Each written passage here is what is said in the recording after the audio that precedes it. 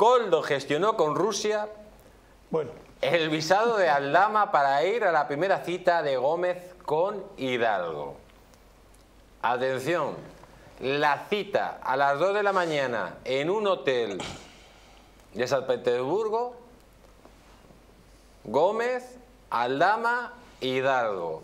¿Y saben ustedes quién gestiona todo eso? ¿Quién gestiona el visado de Aldama? Coldo. Coldo, la mano derecha de Ábalos. Y por cierto, ¿saben quién estaba allí también? El hermano de Sánchez. Por cierto, que luego lo veremos, la juez le relaciona con Coldo con el tema de mascarillas. Todo suyo.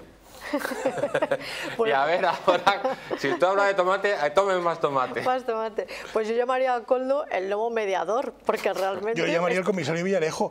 Es que es, es que es como una especie de clon Claro, del comisario Villarejo, son personajes eh, absolutamente pintorescos, eh, picarescos, es decir, de, la, de, la, de la España profunda, ¿no? Es decir, que, que valen para todo, porque este señor valía para romper un, ¿cómo es esto? Un- una piedra en el País Vasco, ¿no? De un deporte o lo, lo que, lo hiciera, portero, para ser portero, para, para llevarle la maleta a un ministro o para cerrar un ministerio y poner los pies encima de la mesa de- del, del- del ministro, la pera. Pero hay para una cosa para la que no ha valido, y es que este lunes 1 de julio arrancaba la comisión de investigación también del, del caso Coldo, por cierto, y del caso Mascarillas en el Parlamento de Canarias, que también tiene su propia comisión de investigación que acaba de empezar, y el primer citado era Coldo, y no ha aparecido. Y además el Parlamento de Canarias ha hecho algo que es eh, eh, contactar con los, la Fuerza del Cuerpo de Seguridad del Estado para localizar a todos los citados. En este caso, bueno, pues no ha localizado a Coldo. La policía no, no ha localizado a Coldo, entonces no ha querido ir al Parlamento de Canarias a contar lo de las mascarillas. Bueno, el caso este es curioso también porque en San Petersburgo, como estamos viendo, pasaron muchas cosas.